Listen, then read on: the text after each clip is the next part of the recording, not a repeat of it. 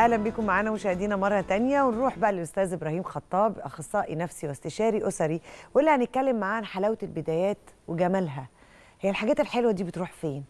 وليه دايما البدايات بتبقى أروع ما في العلاقه وممكن نبقى سايبين العلاقه سنة اتنين تلاتة وطول الوقت مركزين في حلاوة البدايات. خلاص نسيها. مشي. لا أنا شايفة البدايات. إزيك يا أستاذ إبراهيم؟ أهلا وسهلا. ازي حضرتك؟ الحمد لله. يعني حقيقة أنا مش هعيد كلامي تاني. بس يعني البدايات البدايات طول الوقت بيبقى فيه اهتمام في آه، حب في وعود ولا الوعود اللي في البدايات مهما حصل. طب انت أهلك هيأثروا عليك استحالة؟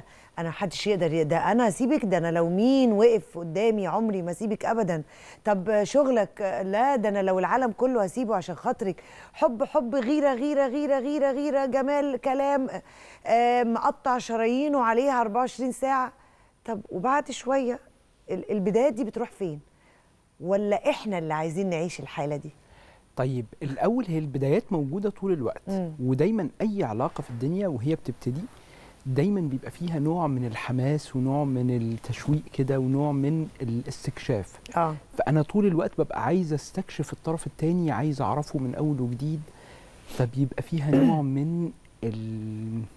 عارفة كل واحد بيحاول يظهر بشكل أفضل كل مم. واحد بيحاول يدي أكتر علشان يجذب أو يعجب أو يبهر الطرف التاني أحسن حاجة عنده. أحسن يعني حاجة بيلبس اللي بيقولوا على الحبل.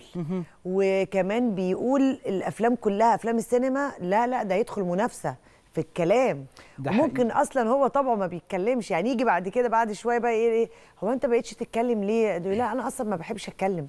طب ما أنت الأول كنت بتتكلم خمس ست سبع ساعات في اليوم وقبل ما بتطلع البيت وقبل ما بتنام وقبل ما بتصحى يعني إيه في إيه؟ ده عشان إحنا بنبقى عايزين نعرف بعض. عندنا فضول نستكشف الطرف التاني عامل إزاي استكشف افكاره ومشاعره عايز اخليه يحبني مم. عايز اعجبه بأكتر طريقة أو بأحسن شكل ممكن. دايما في البدايات إحنا بنقول إنه الحلاوة والجمال مهمين جدا ودي حالة هنعيشها كلنا. ولكن ما ينفعش نعتمد العلاقة كلها علاقة جواز مثلا إحنا بنتكلم في 20 سنة جواز. مم. ما ينفعش أعتمد الجواز كله على البداية لأنه مش دايما البدايات زي ما الحياة الحقيقية هتكون موجودة. البدايات أحيانا كتير جدا جدا. إحنا حتى مع التغيرات وال social media وكل التغيرات اللي حصلت إحنا بنحاول طول الوقت إن إحنا نعجب الطرف التاني. إحنا بنحاول نبهره زي ما قلنا كده إنه طول الوقت أخليه شايفني أفضل شخص إنه يختارني بكل جوارحه مش بس بعقله أو بقلبه. فانا ببذل أقصى طاقة وأعلى مجهود علشان الطرف التاني يشوفني الشخص الكامل والمثالي. طيب, طيب هل ده إحنا بنبقى قاصدين ولا لأ؟ يعني أيوة. هل أنا ببقى قاصد أكون مبهر في البداية ولا لأ؟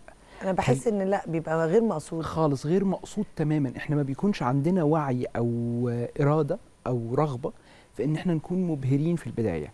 ولكن دايما إحنا عشان نعجب الطرف التاني فإحنا بنحاول نظهر أفضل ما فينا.